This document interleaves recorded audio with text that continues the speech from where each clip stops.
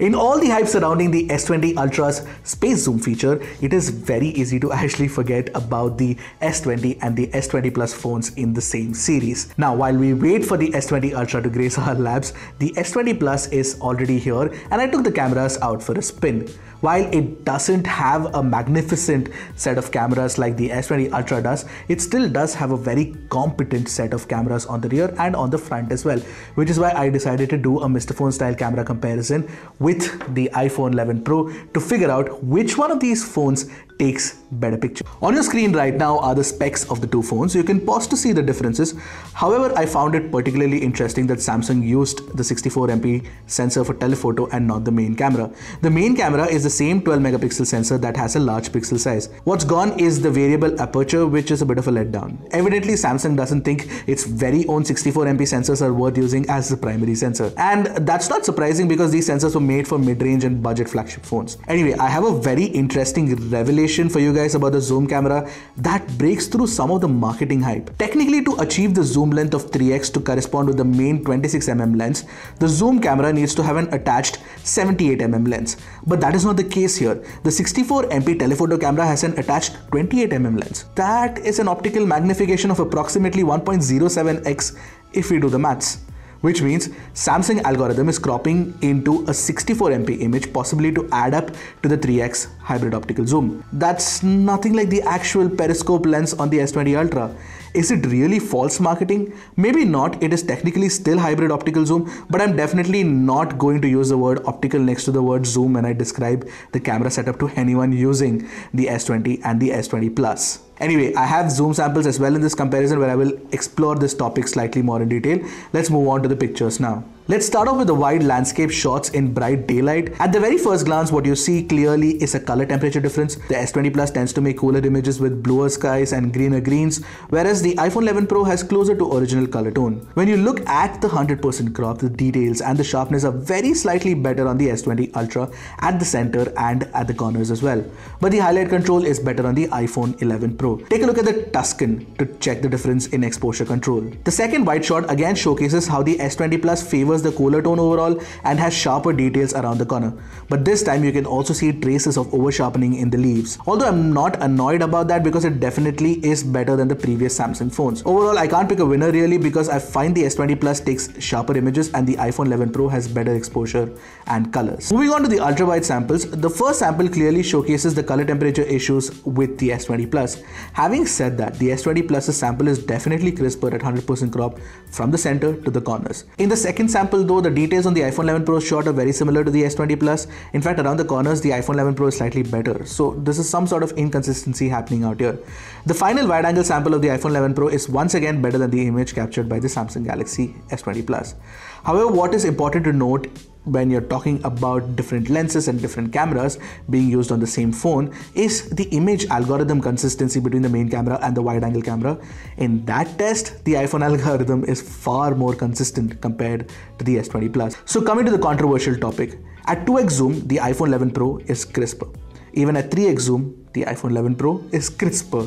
At 10x though, the S20 Plus is crisper. But yes, the S20 Plus can go up to 20x and a max of 30x. So what I can glean from this zoom test is that the S20 Plus's hybrid optical zoom doesn't necessarily offer crazy improvements over the iPhone 11 Pro's purely digital zoom. This can also be chalked to the fact that the S20 Plus doesn't really use a proper long zoom lens and merely does a 1.07x optical zoom. And that's not enough. Having said that, the S20 Ultra's periscope zoom should definitely be better. The reason why flagship phones have great cameras is because of the excellent dynamic range performance. And that is where the iPhone 11 Pro trumps the Samsung Galaxy S20 Plus easily. This is a tough image to capture where the sun is directly against the camera and the iPhone 11 Pro does an excellent job of picking up details from both the highlights and the shadows.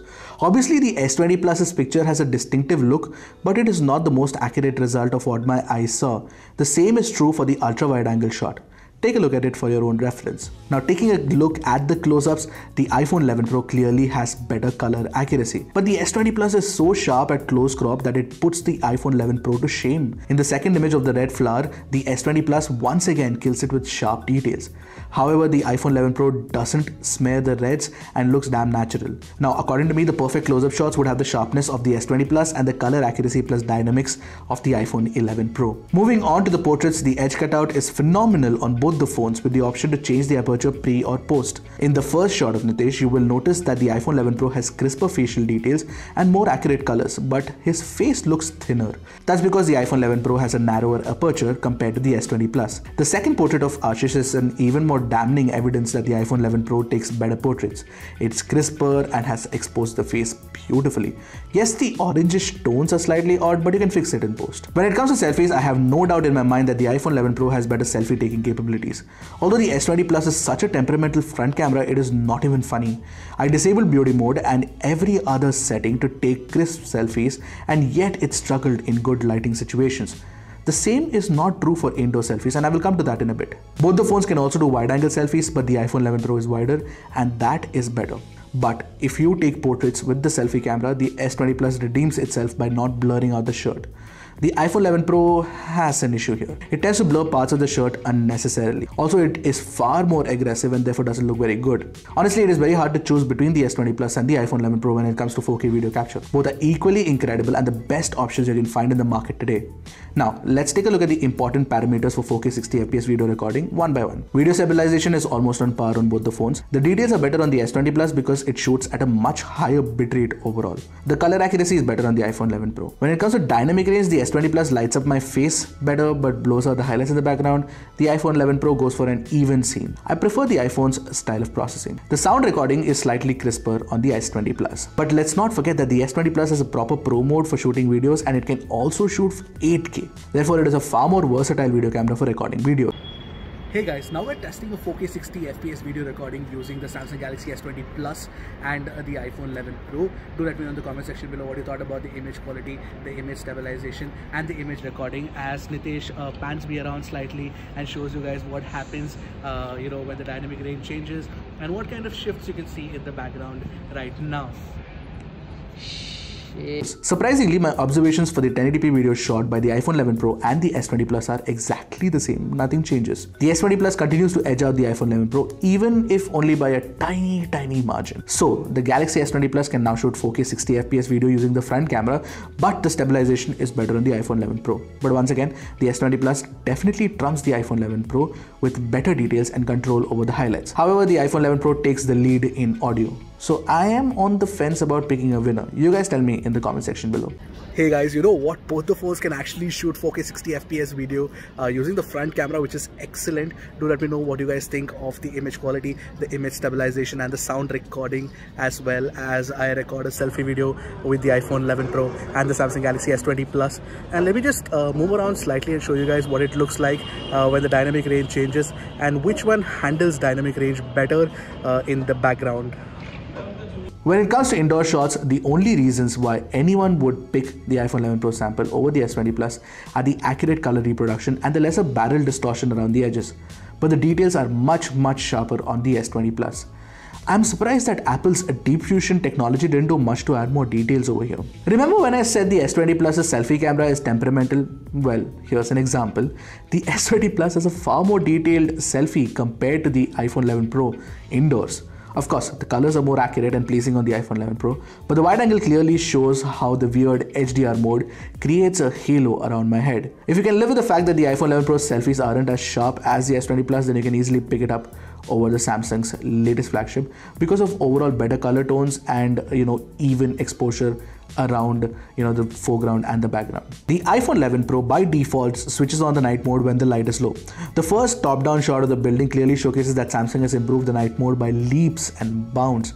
Zoom in and you will clearly see that the S20 Plus has crisper details. While the S20 Plus's low light sensitivity is better, it definitely botches up the color reproduction by creating an oversaturated image. Also, the S20 Plus doesn't crush the shadows. Having said that, the iPhone 11 Pro keeps the noise for more details. On the flip side, the S20 Plus kills the details with the aggressive noise correction. So the takeaway is the iPhone 11 Pro does better night mode in extremely low light situations and the S20 Plus's camera is better when you have some amount of light in the frame. I'm not picking a winner here. The S20 Plus's flash module is far more powerful than the one on the iPhone 11 Pro. You can see that in the image. It is crisper, brighter, well lit and has accurate color temperature as well. Now, I'm not a fan of low light selfies, but if I had to pick one, I'd go with the S20 Plus just because it has a dedicated night mode. But interestingly, what I noticed is that cheaper mid-range phones uh, made by Realme actually do better low light selfies for some odd reason. Now the screen flash of the S20 Plus is more effective too. So yeah, S20 Plus for me all the way when it comes to low light selfies. So after testing the two phones and their cameras, I'm pretty certain that the S20 Plus has a better hardware compared to the iPhone 11 Pro, but it is completely undone by unfinished software.